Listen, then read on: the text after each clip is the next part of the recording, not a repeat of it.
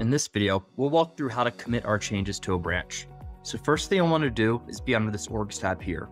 And you're always going to want to pull in changes from the source org where you configured those. Ideally, it's going to be in your sandbox.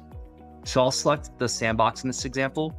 And as users are making changes in their org, Flosum's automatically scanning that org every five minutes looking for changes made, and they're going to slowly trickle into this latest component section. Now, this is where the cherry picking begins. As the admin, I could say, for my user story, I did modify this record type, this flow, and this custom field. Now, once you have your components selected, next thing you'll want to do is commit those changes to a branch. So we'll click commit to branch. Next, just select the branch we want to commit to.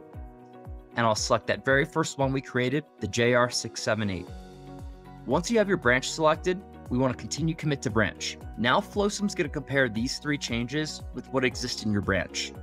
And here we can see that these are safe to commit, meaning there's no risk of an overwrite and there's technically nothing for us to really review. So if we check this box next to component name and click continue commit to branch, Flosum's actually going to commit those three changes to the JR678 branch. And you'll notice once this page reloads, we're redirected back to our branch and now you're ready to start working through some quality gates.